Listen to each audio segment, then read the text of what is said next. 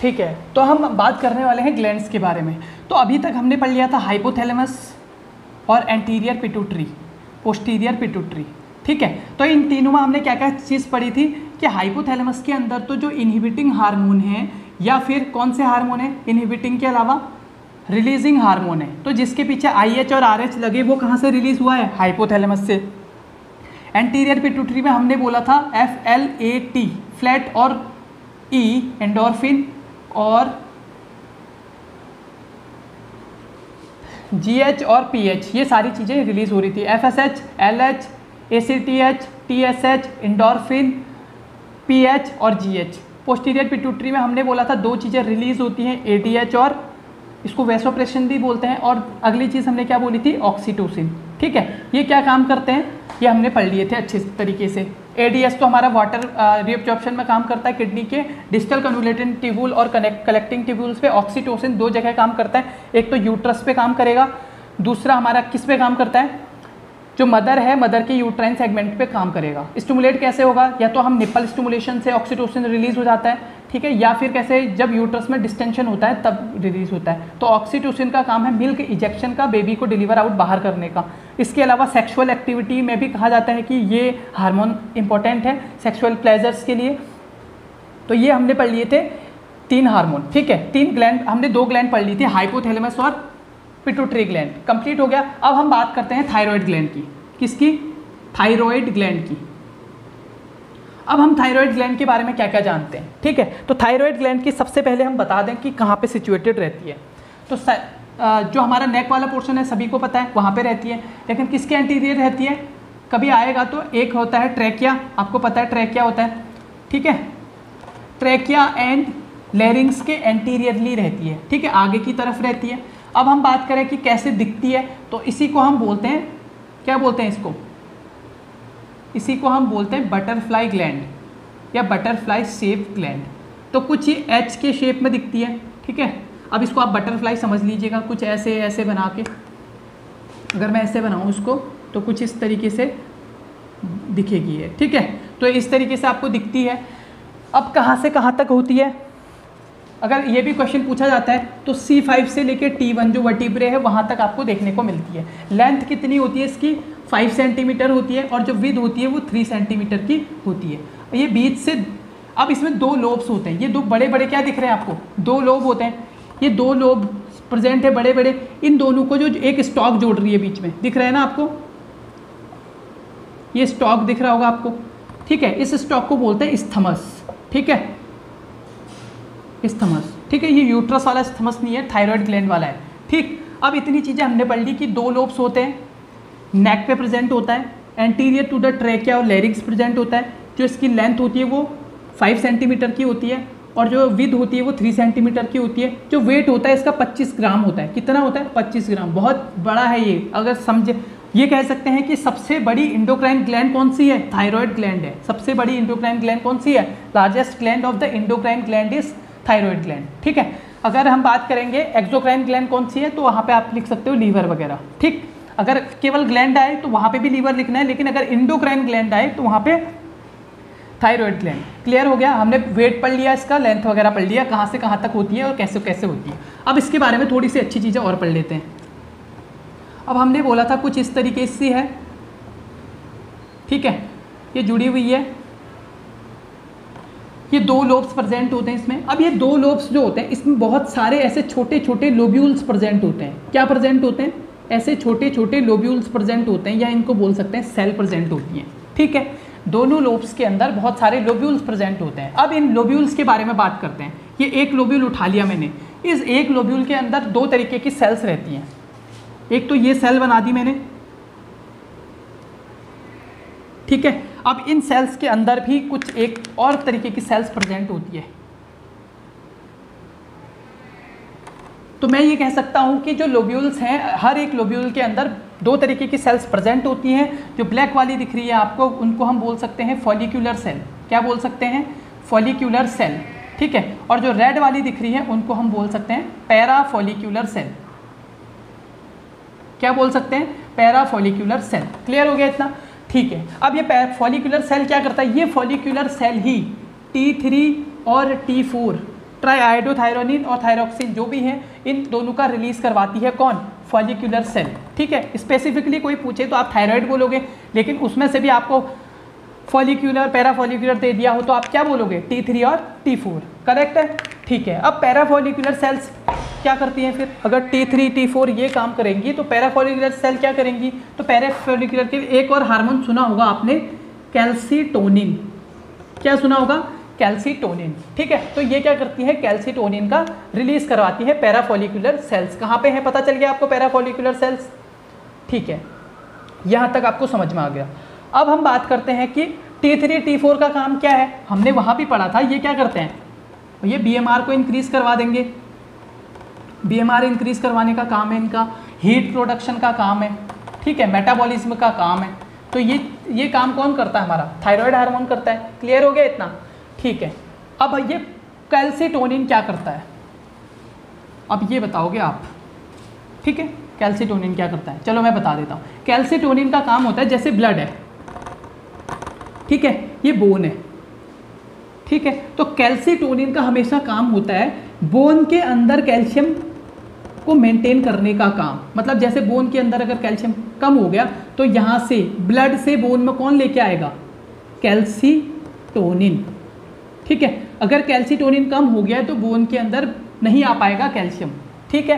तो ये बात आप अच्छे से याद रखना, क्योंकि अभी मैं एक इसका अपोजिट भी पढ़ने वाला हूँ। ब्लड से जो बोन में लेके आए ब्लड टू बोन उसको बोलेंगे क्या? कैल्सीटोनिन। मतलब ये बोन के अंदर सिंपल सिंपल सी बात कहें इसे ब्लड से कोई मतलब नहीं है ब्लड में कैल्शियम है कि नहीं है इसका केवल मतलब है बोन से, ठीक है? समझने के लिए बता रहा हूँ कि बोन के अंदर कैल्शियम को मेंटेन कौन करता है? कैल्शियम करता है सॉरी कैल्सीटोनिन करता है, ठीक? ये हमने पढ़ लिया थायरॉयड ग्लैंड इसमें और ज़्यादा कुछ भी नहीं है। अगर आपको स्पेसिफिकली समझना है इसके अलावा कुछ भी नहीं है इसमें ठीक है? बस आपको थायराइड ग्लैंड का इतना ही याद रखना है। दो तरीके की सेल होती है फॉलिकुलर और पैराफॉलिकुलर हीट प्रोडक्शन करती हैं मेटाबॉलिज्म को रेगुलेट करती हैं बीएमआर को रेगुलेट करती हैं और पैराफॉलिकुलर सेल्स को ही सी सेल्स भी बोलते हैं हम। पैराफॉलिकुलर को क्या बोलते हैं? सी सेल भी बोला जाता है ठीक है? पैराफॉलिकुलर सेल कैल्सिटोनिन का आ, बना के रखती हैं हमारे बोन में रेगुलेट करके रखती हैं। अब हम बात करते हैं जो ये हमारे दो लोब थे ठीक है? थायराइड ग्लैंड के जो दो लोब थे। अब इसी के पीछे, एक लोब में दो। ये एंटीरियर साइड पे तो हमारे लोब्यूल वगैरह प्रेजेंट थे। अब पीछे की तरफ़ से पोस्टीरियर साइड पे ऐसे दो दो क्या होते हैं? लोब्स प्रेजेंट होते हैं थायराइड ग्लैंड पे ही। जिनको क्या बोलते हैं? पैराथायरॉयड ग्लैंड बोलते हैं। ठीक है? क्या बोलते हैं? पैराथायरॉयड ग्लैंड बोलते हैं। पैराथायरॉयड ग्लैंड कहाँ पे प्रेजेंट होती है? थायराइड के पोस्टीरियरली दो दो जो लोब्स होते हैं, एक लोब के अंदर दो प्रेजेंट रहते हैं पैराथायरॉयड हार्मोन ठीक है? फोर ये प्रेजेंट हो गए हमारे। अब इनका काम क्या होता है? अब ये एक हार्मोन सीक्रेट करते हैं, जिसका नाम होता है पैराथ सुना होगा आपने पैराथायरॉयड हार्मोन या पैराथ हार्मोन जिसको बोलते हैं। अब ये क्या करता है? ये बिल्कुल उल्टा करता है यहाँ पे। जैसे ये ब्लड है ब्लड में कैल्शियम है, और ये हमारी बोन है। बोन में भी कैल्शियम है। इसका काम हमने क्या पढ़ा था? हमने क्या पढ़ा था कि कैल्शियम कहाँ से अब्जॉर्ब होता है? सबसे पहले अगर इसका काम होता है ब्लड में मेंटेन करने का। कैल्सिटोनिन का काम था बोन में मेंटेन करने का, इसका काम है ब्लड में मेंटेन करने का। कैल्सीटोनिन ब्लड से बोन में लेके जाता है। अब ये पैराथ हार्मोन करता क्या है? सबसे पहले कहाँ से कैल्शियम अब्जॉर्ब होता है, बताइए। अगर याद आ रहा होगा आपको तो हमने जब पढ़ा था विटामिन डी का, अगर आपने एनाटमी की क्लासेस नहीं ले रहे हैं तो कोई फ़ायदा नहीं होगा इनका, ठीक है? तो हमने जब पढ़ा था रीनल वाला सिस्टम तो उसमें हमने क्या पढ़ा था कि जो भी हारमोन्स होते हैं जो सबसे कैल्शियम का अब्जॉर्प्शन होता है, जब विटामिन डी एक्टिवेट हो जाता है तो सबसे पहले इंटेस्टाइन से कैल्शियम लिया जाता है। तो इंटेस्टाइन से कैल्शियम अब्जॉर्ब होकर यहाँ डाल दिया। ठीक है? सबसे पहले इंटेस्टाइन से। फिर हमने बोला कैल्शियम एक और जगह से अब्जॉर्ब होता है, वो था किडनी ठीक है? अब इन दोनों जगह से कैल्शियम लेके फिर भी पूरा नहीं हुआ इसका तो ये तीसरी जगह से कहाँ से लेता है? फिर बोन से खींचना स्टार्ट कर देता है ये कैल्शियम। ठीक है? कौन? पीटीएच हार्मोन तो कभी भी पीटीएच हार्मोन क्या करता है? लास्ट वाली कंडीशन होगी जब पीटीएच हार्मोन क्या करेगा? फिर बोन से लेना स्टार्ट कर देगा और बोन को क्या कर देता है? वीक कर देता है, जिससे फ्रेजाइल हो जाती है बोन ठीक है? तो ये मैकेनिज्म है। क्या पैराथायरॉयड हार्मोन का काम है? ब्लड में बना के रखना। जैसे कैल्सीटोनिन का काम था, किसमें बना के रखता था? बोन के अंदर कैल्शियम का लेवल बना के रखता है तो पैराथायरॉयड हार्मोन उसका बिल्कुल अपोजिट है। ये इसका काम होता है ब्लड में मेंटेन हो। चाहे इसको मतलब नहीं है बोन में है कि नहीं है। ठीक है? ओके तो ये बात हो गई हमारे पैराथायरॉयड ग्लैंड की। अब हमने पैराथायरॉयड भी पढ़ ली, ये भी पढ़ ली। इससे पहले हम एक चीज़ छोड़ के आ गए हैं ब्रेन में। क्या छोड़ के आ गए पीनियल ग्लैंड। फिर आप कहेंगे, ये बताया नहीं। वैसे बहुत इंपॉर्टेंट है, लेकिन इसके बारे में खास कुछ कहने के लिए हमारे पास है नहीं। क्यों नहीं है? इसको, इसके बारे में ज़्यादा कुछ नहीं है। इसको आप थर्ड आई भी बोला जाता है, इसको ह्यूमन की थर्ड आई भी बोला जाता है। मतलब ये ग्रोथ और बाकी सारी चीज़ों को भी रेगुलेट करती है हमारी बॉडी के। कहा जाता है ऐसा, ठीक है? मेन काम इसका होता है, ये इसको, इसके बारे में सबसे इंपॉर्टेंट क्वेश्चन जो आ सकता है, वो आ सकता है आपका smallest gland smallest endocrine gland कौन सी है? ठीक है? तो आप बोलोगे, कौन सी है? पीनियल ग्लैंड कितने एमजी की होती है ये? ये बहुत छोटी होती है 170 सेवेंटी इसका वेट होता है. ठीक है? 170 सेवेंटी की ये होती है. अब ये क्या करती है? ये कहाँ पे प्रेजेंट होती है? तो आपने जब ब्रेन के अंदर पढ़ा होगा ऐसे ये पढ़े होंगे आपने लेटरल वेंट्रिकल फिर ये यहाँ पे पढ़ा होगा आपने थर्ड वेंट्रिकल फिर ये थर्ड वेंट्रिकल के बाद यहाँ पढ़ा होगा फोर्थ वेंट्रिकल जब ये सब फ्लो पढ़ेंगे हम, तब हम फिर से दोबारा से देखेंगे एक बार। तो जो ये थर्ड वेंट्रिकल है, इसके सुपीरियर पे रहती है। मतलब हम ये कह सकते हैं कि इसकी लोकेशन कहाँ पे है? थर्ड वेंट्रिकल के रूफ पे ये प्रेजेंट रहती है ब्रेन में, ठीक है? और सबसे छोटी होती है, ठीक? तो इतना ही है इसके बारे में। ये क्या करती है? पीनियल ग्लैंड का काम होता है मेलाटोनिन को सिक्रीशन करना।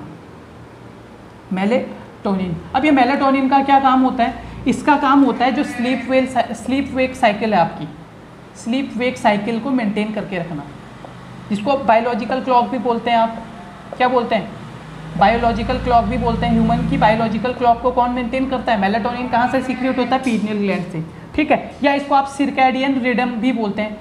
Circadian rhythm. कौन मेंटेन करता है? Pineal gland. कहाँ से? कैसे करती है मेलाटोनिन के सिक्रीशन तो पीनियल ग्लैंड के बारे में मेरे पास तो इतना ही है, जो इंपॉर्टेंट है। ठीक है? इसके बारे में हम ज़्यादा डिस्कस इसलिए नहीं कर रहे हैं, क्योंकि इसमें से जो क्वेश्चन आएगा वो यहीं से आएगा। क्लियर है आपके? अब बात करते हैं हम किसके बारे में? पी हमारे पास और कुछ बच गया? अब बहुत इंपॉर्टेंट बच गया हमारे पास एड्रीनल ग्लैंड जिसमें से सबसे ज़्यादा क्वेश्चन आते हैं, सबसे ज़्यादा कन्फ्यूज़न होता है बच्चों को। ठीक है? तो इसको मैं बना लेता हूँ पहले। तो एड्रीनल ग्लैंड की लोकेशन आप सभी को पता होगी। जो किडनी, दोनों किडनियाँ होती हैं, उनके सुपीरियर पे ऐसे प्रेजेंट होती है। जैसे सपोज़ एक किडनी है, ठीक है, बहुत बुरी किडनी है, लेकिन इसके ऊपर से ऐसे ट्राइंगल शेप में रहता है, ठीक है? अब उसके बाद दोनों किडनियों के ऊपर रूफ पे प्रेजेंट होती है एड्रीनल ग्लैंड ठीक है? अब एड्रीनल ग्लैंड के बारे में क्या इंपॉर्टेंट है? तो एड्रीनल ग्लैंड के बारे में इंपॉर्टेंट क्या है? ये ऐसे ट्राइंगल शेप की रहती है, अगर हम इसको बड़ा करें तो। और ये मेनली दो कवरिंग में होती है। एक तो इसका मिडिल वाला पार्ट होता है। मिडिल वाला एम से याद रखना मेड्यूला क्या रखोगे? मेड्यूला आज ये कन्फ्यूज़न दूर होने वाला है। आज आपका कि मेड्यूला कहाँ पे प्रेजेंट होता है? कॉटेक्स कॉटेक्स का कहीं पे भी वर्ड आए कॉटेक्स का मतलब हमेशा कवरिंग रहता है। क्या रहता है? कवरिंग रहता है। ठीक है? और ये कॉटेक्स की जो लेयर होती है, वो तीन पार्ट्स में बनी होती है। पहला, दूसरा और तीसरा। कॉटेक्स तीन पार्ट्स में होता है और ये मेड्यूला अंदर वाला पार्ट ये है। ठीक है? अब ये ये ऐसे पूरी है हाँ? तीन तीन हर जगह से हैं ऐसे। तो इसके तीन लेयर्स के बारे में हम यहाँ पे डिस्कस करेंगे। किसके? सबसे पहले कॉटेक्स की बात करते हैं। एड्रिनल मेड्यूला के कॉटेक्स की बात करते हैं। तो कॉटेक्स में तीन लेयर होती हैं। तो सबसे बाहर वाला, सबसे बाहर वाली जो लेयर होती है, उसको बोलते हैं, क्या बोलते हो? ग्लोमेरुलोसा क्या बोलते हैं?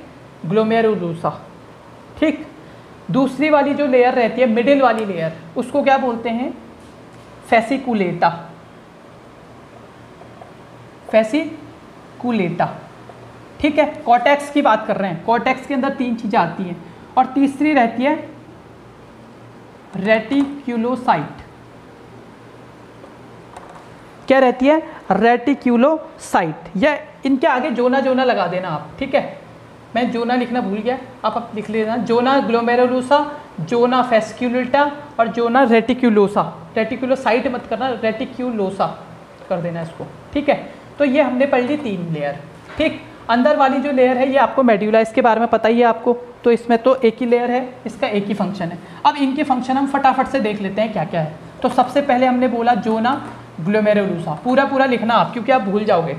जो ना ग्लोमेरुलूसा के अंदर क्या चीज़ें होती है तो हमेशा याद रखना, बहुत सारे बच्चे कैसे याद कर लेते हैं, अभी बताऊँगा मैं आपको। इसके अंदर वैसे रहते हैं मिनरल्स मिनरल्स का ऑब्जॉर्प्शन करवाना हो, या फिर वाटर का ऑब्जॉर्प्शन करवाना हो। ठीक है तो एड्रीनल ग्लैंड पे किस पे काम करना पड़ेगा? जो ना जो ग्लोमेरुलूसा सबसे बाहर वाली लेयर है। मिनरल और वाटर सबसे इंपॉर्टेंट है तो ग्लोमेरुलूसा सबसे बाहर वाली लेयर है। तो वहाँ से अगर आ, हमने अब्जॉर्प्शन करवाना है तो सबसे पहले इस पर काम करना पड़ेगा हमको। ठीक है? तो ये सीक्रेट करते हैं क्या? मिनरलो कॉर्टिकॉइड क्या करते हैं? मिनरलो कॉर्टिकॉइड ठीक है? मिनरलो कॉर्टिकॉइड कौन सा होता है आपका? आपने सुना होगा एल्ड्रोजन सुना था हमने? हमने बोला था यहाँ से सीक्रेट होता है फिर। एल्ड्रोजन एल्ड्रोजन क्या है? एक मिनरलोकॉर्टिकॉइड है, फिर किस पे काम करेगा ये? डीसीटी पे काम करेगा और वहाँ से मिनरल्स और वाटर का रीअब्जॉर्प्शन कर लेगा, ठीक है? तो ग्लोमेरुलोसा पे ऐसे काम होता है। जब हमको पता चला कि हमारी बॉडी में फ्लूड वगैरह कम है डीसीटी ने सोडियम और वाटर अब्जॉर्प्शन नहीं किया तो वो ब्रेन को शिकायत करती है सीधे। ये हमने रास मैकेनिज्म में पढ़ लिया था। ब्रेन में क्या होता है? हाइपोथैलेमस वगैरह जो सारी चीज़ें होती है, वो एड्रीनल ग्लैंड को मैसेज भेजती है कि भैया, आप क्या काम कर रहे हो? आप काम करना स्टार्ट करो वहाँ पे। एड्रीनल ग्लैंड के कौन से पार्ट को? कॉटेक्स वाले पार्ट को। कॉटेक्स में अगर मिनरल केवल हमने वाटर अब्जॉर्प्शन करना है तो किसको बोलेंगे हम? भाई ग्लोमेरुलर लेयर को बोलेंगे। तो मिनरलो कॉर्टिकॉइड किससे रिलीज़ होते हैं? जो एड्रिनल ग्लैंड की फ़र्स्ट वाली लेयर है। एल्ड्रोजन उसमें से आता है मिनरलो कॉर्टिकॉइड अब दूसरी बात करते हैं जोना फेसिक्यूलेटा मिडिल वाली लेयर है। ठीक है तो इसका काम क्या होता है? इसका काम होता है मिनरलो को कॉर्टिकॉइड ये कॉर्टिकॉइड वर्ड का मतलब ही कॉटेक्स है। ठीक है, यहाँ पे भी ग्लूकोकॉर्टिकॉइड ग्लूकोकॉर्टिकॉइड अब ये ग्लूकोकॉर्टिकॉइड्स का मतलब ग्लूकोज है, इतना समझ जाना आप। अब आपको ग्लूकोज चाहिए आपकी बॉडी को तो वो किसको बोलेगी? ग्लूकोकॉर्टिकॉइड को बोलेगी। अब ये ग्लूकोकॉर्टिकॉइड कौन कौन से होते हैं? आपने सुना होगा कॉर्टिसोल अगर हमें को कॉर्टिसोल रिलीज़ करवाना है, या कॉर्टिको स्टेरॉन से रिलीज़ करवाना है कॉर्टिको स्टेरॉन या फिर तीसरा आता है हमारा क्या? कॉर्टिस कॉर्टिसोन ये तीनों अलग अलग चीज़ें हैं। ठीक है? जो भी स्ट्रॉयड हार्मोन है, वो कहने का मतलब है हमारे एड्रीनल कॉटेक्स वाले पार्ट से स्ट्रॉयड हार्मोन निकलते हैं। ठीक है? अब ये ग्लूकोकॉर्टिकॉइड बीज वाली लेयर से निकल गए। इनका काम हमने बता दिया, ये ग्लूकोज पे काम करेंगे। क्लियर हो गया इतना? ठीक है। अब हम लास्ट वाली लेयर जिसका नाम है क्या? जिसका नाम है रेटिकुलोसा ग्लोमेरुलोसा रेटिकुलोसा सबसे इनर वाली लेयर है कॉर्टेक्स की। ठीक है? अब इसका काम क्या होता है? एक हार्मोन होता है, आपने सुना होगा क्या? एल्डस्ट क्या था उसका नाम? Androgen androgen. ठीक है? एंड्रोजन का आपने सुना होगा, ये सेक्स हार्मोन कहलाता है। सेक्स हार्मोन ठीक है? सेक्स हार्मोन मतलब ये सेकेंडरी जो भी सेक्सुअल कैरेक्टरिस्टिक्स होते हैं, उनको डेवलप करने में हेल्प करता है। सेकेंडरी सेक्सुअल कैरेक्टरिस्टिक्स ठीक है? कैरेक्टर्स को मेंटेन करने का, बनाने का काम कौन करता है? एंड्रोजन इसकी कमी होने की वजह से क्या हो सकता है? दिक्कत हो सकती है। ठीक? ठीक है। ये पढ़ लिए हमने कौन से हार्मोन? कॉटेक्स के। ठीक है? तो कॉटेक्स को आप, मैंने जब याद किया था तो ऐसे किया था। एस से ट्रिपल एस से याद किया था। एस से क्या था? सॉल्ट ठीक है? सॉल्ट मतलब मिनरल्स वगैरह। मिनरल्स वगैरह किसमें आएँगे? सॉल्ट में। दूसरा आएगा एस मतलब स्वीट स्वीट मतलब ग्लूकोज किस पे काम करता है? दूसरे वाले पे। फिर थर्ड पे आता है सेक्स तीसरा हार्मोन कौन सा होता है? एंड्रोजन होता है, जो किस पे काम करता है? सेक्सुअल एक्टिविटीज़ के लिए काम करता है। तो मैंने ट्रिपल ऐसे याद किया था, आप अपनी अपनी टेक्निक बना सकते हैं कैसे कैसे याद हो सकता है। क्लियर हो गया? अब हम बात करते हैं कौन से टॉपिक की? मेड्यूला वाले पार्ट की।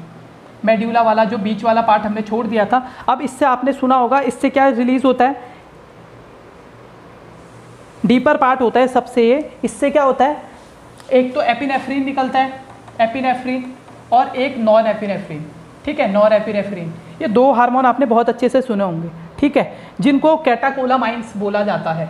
एपिनेफ्रीन और नॉन एपिनेफ्रीन को क्या बोला जाता है? कैटाकोलामाइंस कैटाकोलामाइंस अब ये करते क्या है फिर? या आपने सुना होगा ट्रिपल एफ़ साइकोलॉजी में साइकेट्रिक में। ठीक है? हम सारी चीज़ें लेके चल रहे हैं। फियर फाइट या फिर फ़्लाइट ठीक है? ये दोनों में है। आप अगर साइकोलॉजी पढ़ोगे तो उसमें भी है। आप जब वहाँ पे मैकेनिज्म पढ़ोगे स्ट्रेस वाली मैकेनिज्म पढ़ोगे, ठीक है जीएस वगैरह पढ़ोगे तो फ़्लाइट रिस्पॉन्स फाइट रिस्पॉन्स और ये सारी चीज़ें पढ़ोगे आप उसमें। तो ये कैटाकोला माइंस का काम क्या होता है? ये स्ट्रेस वगैरह में काम आते हैं हमारे को, ठीक है? या तो अगर कोई स्ट्रेस आ गया तो उससे फेयर होगा हमें तो कैटाकोला माइंस की वजह से होगा। फिर हम उससे फाइट करते हैं या फिर उससे फ़्लाइट करते हैं मतलब भाग जाते हैं। तो कैटाकोला माइंस हमारे स्ट्रेस हार्मोन में आता है ये हमारे को स्ट्रेस से रिलीव करवाता है, ठीक है? स्ट्रेस में हमारे काम आता है। क्लियर हो गया? तो ये पढ़ लिया हमने एड्रीनल ग्लैंड क्लियर हो गया? अब एक और हर, अब हमने डाइजेस्टिव सिस्टम में पेनक्रियास पढ़ा था। ठीक है? पेनक्रियास को हेड अब मैंने एक चीज़, दो हार्मोन बताए थे आपको जब शुरू किया था एंडोक्राइन सिस्टम कि एक होता है एक्सोक्राइन एक होता है एंडोक्राइन ठीक है? लेकिन हम पेनक्रियास को दोनों में ही नहीं रखते। पढ़ते दोनों में है, लेकिन रखते एक में भी नहीं। क्यों? क्योंकि ये होती है हेट्रोक्राइन ग्लैंड ठीक है हेट्रोक्लाइन ग्लैंड बोला जाता है इसको। लेकिन कहीं पे भी पूछे आप दोनों में इसको यूज़ कर सकते हो। ठीक, ऐसा कुछ नहीं है। तो हेट्रोक्राइन क्राइन नहीं लिखा है मैंने। हेट्रोक्राइन ग्लैंड क्या होती है? जिनमें दोनों फ़ंक्शन होते हैं। हमने पढ़ा था ये एक लीव सेप या फ़िश सेप की का ऑर्गन है। इसमें हमने पढ़ा था यहाँ पे कुछ सेल्स प्रेजेंट होती हैं ऐसे। जिनको हमने पेनक्रियाटिक सेल्स बोला था। यहाँ से एक डक्ट निकलती है तो जब डक्ट के थ्रू जाता है तो इसको तो हम एक्जोक्राइन बोलते हैं। और यहाँ पे कोई सीधे सीधे ऐसे ऐसे सेल्स प्रेजेंट थी, जो सीधे ब्लड में डाल रही थी, इनके पास कोई भी डक्ट नहीं थी। तो ये वाला जो पार्ट आता है, पीछे वाला, ठीक है? इसको पेनक्रियाटिक एसलेट वाला पार्ट्स बोलते हैं। क्या बोलते हैं? पेनक्रियाटिक एसलेट या टेल वाला पार्ट जो होता है हमारा, वो कौन सा होता है? कौन सा होता है? वो होता है एंडोक्राइन पार्ट क्यों होता है? क्योंकि जो एंडोक्राइन पार्ट में जो सेल्स होती हैं, वो अपना डायरेक्ट सिक्रीशन किसमें कर देती हैं? ब्लड में कर देती हैं। उधर कोई डक्ट की ज़रूरत नहीं है। उन सेल्स को ही हम बोलते हैं पेनक्रियाटिक आइसलेट एंडोक्राइन सेल्स या आइसलेट ऑफ़ ये भी सुना होगा आपने आइसलेट ऑफ़ लेंगरहेंस ठीक है? एसलेट ऑफ़ लेंगरहेंस के नाम से भी वो सेल्स जाने जाते हैं। अब ठीक है, अब ये सेल्स करते क्या हैं? तो इन सेल्स ये पीछे वाले इसमें भी तीन चीज़ें पाई जाती हैं। ठीक है? ऐसे बना रहा हूँ मैं, ज़रूरी नहीं है ऐसे ही हो, आप भी ऐसे बना सकते हो या अपने मन से जैसे भी बना सकते हो। तीन लेयर होती हैं। सॉरी चार भी मानते हैं कुछ लोग। ठीक है? लेयर नहीं है ये, चार तरीके की सेल हैं। अभी कंफ्यूज हो जाओगे आप। एक, दो, तीन, चार। तो पहले वाली जो सेल्स हैं, ये एक ही सेल के अंदर चार टाइप की सेल्स हैं। ये कह रहा हूँ मैं। ठीक है? तो पहले कुछ सेल्स होती हैं अल्फ़ा सेल्स कुछ होती है बीटा सेल्स पिछली बार मैंने डेल्टा या गामा बताया था शायद कुछ भी। आप इसको डेल्टा गामा कुछ भी मान सकते हैं, ठीक है? और एक होती है एफ़ सेल्स इनका ज़्यादा यूज़ नहीं है। ये तीन सेल्स हमारे एंडोक्राइन सेल्स में आते हैं, ठीक है? ये चारों सेल्स ठीक? इतना मान लेते हैं। अब ये तीन सेल्स इंपॉर्टेंट हैं इसमें से। अल्फ़ा सेल बीटा सेल और गामा सेल तो अल्फ़ा सेल्स को क्या बोला जाता है? इनको बोला जाता है ग्लूकागन ग्लूकागॉन बोला जाता है। बीटा सेल्स को क्या बोलते हैं? बीटा सेल्स को बोलते हो आप इंसुलिन क्या बोलते हो? इंसुलिन और जो डेल्टा सेल है या जिसको गामा सेल बोला था आपने, उसको बोलते हैं सोमेटोस्टैटिन क्या बोलते हैं? सोमेटोस्टैटिन ठीक है, इसको भी सोमेटोस्टैटिन बोलते हैं यहाँ पे. और एफ़ सेल को हम जानते हैं पेनक्रियाटिक पॉलीपेप्टाइड ठीक है पेनक्रियाटिक पॉलीपेप्टाइड ठीक है, अब ये तीन चीज़ों का काम है. अल्फ़ा सेल्स का काम तो होता है ग्लूकोज का लेवल बढ़ा देना. ठीक है, बढ़ा देना मतलब मेंटेन करके रखना. मतलब जितना ग्लूकोज चाहिए होगा तो अल्फ़ा सेल क्या करेंगी? ग्लूकोज को रिलीज़ कर देंगी। इंसुलिन का काम क्या होता है? उस ग्लूकोज को मेंटेन ठीक है तो हम बात कर रहे थे किसकी हमने बोला अल्फ़ा सेल हमने बोला alpha cell alpha cell beta cell delta cell और एफ़ सेल इनका नाम क्या है? अल्फ़ा सेल का नाम क्या है? ग्लूकागन ठीक है? क्या है इसका नाम? ग्लूकोगोन, ग्लूकागन, ठीक है? ग्लूकागन। बी, बीटा का नाम है इंसुलिन बीटा सेल्स क्या सिक्रिएट करती है? इंसुलिन अल्फ़ा सेल्स सिक्रिएट क्या करती है? ग्लूकागन डेल्टा सेल क्या सिक्रिएट करती है? ये इन दोनों को मेंटेन करती हैं। मेंटेन किस किस को मेंटेन करती हैं? अल्फ़ा एंड बीटा को मेंटेन करती हैं। क्लियर हो गया? एफ़ सेल्स का वैसे कोई इनमें काम नहीं है। इनको बोलते हैं पॉलीपेप्टाइड पॉलीपेप्टाइड पेनक्रियाटिक सेल। ठीक है? ये अलग ही है, इनका वैसे फ़ंक्शन अभी तक पता नहीं है, पर कहा जाता है जब इनका फ़ंक्शन ज़्यादा देखने को मिला है रिसर्च में देखा गया है कि जब पॉलीपेप्टाइडेज या एफ़ सेल का फ़ंक्शन ज़्यादा देखने को मिला है तो उस टाइम पे पेनक्रियाटिक जूस भी ज़्यादा देखने को मिला है। तो हम इसको एंडोक्राइन में तो लेते नहीं हैं। तो मेन ये तीन चीज़ें आप याद कर लीजिए। अगर आपको एफ़ सेल भी याद करनी है तो एफ़ सेल भी याद कर लीजिए। क्लियर हो गया। अल्फ़ा सेल ग्लूकागॉन सीक्रेट करती है बीटा सेल इंसुलिन करती है और डेटा सेल इनको मेंटेन करती है। अब बात करते हैं ग्लूकागन की। जब ग्लूकागन सीक्रेट करेगा तो क्या होगा? अरे ब्लड ग्लूकोज लेवल मेंटेन हो जाएगा। ब्लड ग्लूकोज लेवल इंक्रीज होगा। इंक्रीज का मतलब अगर ब्लड में ग्लूकोज कम हुआ तो यहाँ से ग्लूकागन क्या करेगा? ग्लूकोज सीक्रेट करेगा, जो नॉर्मल कर देगा। इंसुलिन क्या करेगा? जैसे ही ब्लड ग्लूकोज लेवल ज़्यादा होगा तो इंसुलिन उनको सेल में धक्का दे देगा। कहाँ पे? सेल में पुश कर देगा और यहाँ पे ग्लूकोज लेवल कैसा हो जाएगा? कम, ठीक है? तो ये एग्ज़ाम में पूछा जाता है कि अगर इंसुलिन बीटा सेल्स हैं तो वो क्या करेंगी? ग्लूकोज को कम करेंगी या ज़्यादा करेंगी? तो इंसुलिन या बीटा सेल कभी भी ग्लूकोज को ज़्यादा नहीं करती ये क्या करती है? कम करती है। कम करने का मतलब है नॉर्मल करती हैं, ठीक है? ऐसा नहीं कि लो कर देती हैं। क्लियर हो गया? और डेटा सेल इन दोनों को मेंटेन करके रखती हैं। क्लियर हो गया इतना? ओके नाउ हम अब बात करते हैं किसकी? अब एक ऑर्गन जो हमने नहीं पढ़ा था वहाँ पे वो है स्प्लिन ठीक है? स्प्लिन ये आप डाइजेस्टिव सिस्टम में लिख लीजिएगा इसको। ये पे यहाँ पे मैं बता रहा हूँ क्योंकि वहाँ पे हमने शायद इसको डिस्कस नहीं किया था। तो सबसे पहले इसको बोलते इसका साइज़ कितना होता है वो देख लेते हैं। एट टू टेन सेंटीमीटर इसका साइज़ होता है। और वेट इसका होता है कितना? वेट अप्रॉक्सीमेटली 150 से लेके 200 ग्राम तक इसका वेट होता है। तो ये दो चीज़ें आप याद रख लेना पहली चीज़। तीसरा एग्ज़ाम में कौन से एग्ज़ाम में ये पूछा गया था? आई डोंट नो पर आपको कॉम्पिटेटिव बुक्स में मिल जाएगा या पेपर जब हम सॉल्व करेंगे धीरे धीरे कॉम्पिटेटिव एग्ज़ाम के तब पता चल जाएगा। तो ये जो आपको ये कहाँ पे देखने को मिलती हैं? ये देखने को मिलती हैं आपकी जो आपकी आ, कौन सी है? नाइन्थ से लेके इलेवेंथ तक। नाइन टेन और इलेवेंथ पे ये आपको क्या देखने को मिल जाएगा आपको? लेफ़्ट साइड पे। जब अपडेमन को हम दो पार्ट में डिवाइड करेंगे मतलब तो लेफ़्ट साइड पे क्या देखने को मिलेगा? जहाँ पे हमारी रिप्स जुड़ी होगी नाइन्थ टेंथ और इलेवंथ अगर इसकी लोकेशन आए तो यही लिखनी है। नाइन्थ से लेके इलेवंथ तक आपको क्या देखने को मिलेगा? स्प्लिन देखने को मिलेगा। अब इसके बात कर लेते हैं इसके कुछ फ़ंक्शंस की। किसकी? फ़ंक्शंस की। तो फ़ंक्शन क्या क्या हो सकते हैं? सबसे पहले तो आपने इसको ग्रेवियार्ड ऑफ़ आरबीसी बोला था।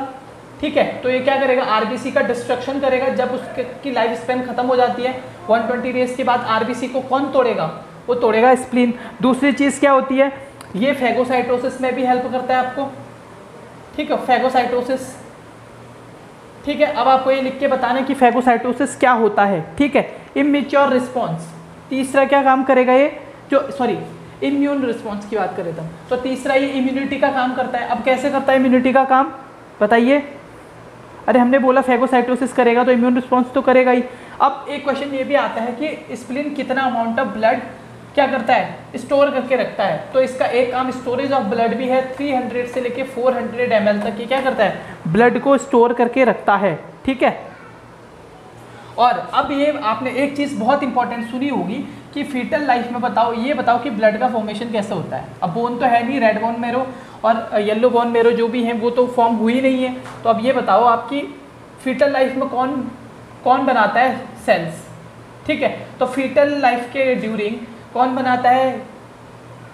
ब्लड सेल्स कौन बनाता है? वो बनाता है आपका स्प्लिन ठीक है? स्प्लिन फीटल लाइफ के ड्यूरेशन में कौन बनाता है? स्प्लिन बनाता है। क्लियर हो गया इतना? तो ये हमने छोटा सा पढ़ लिया स्प्लिन के बारे में। Thank you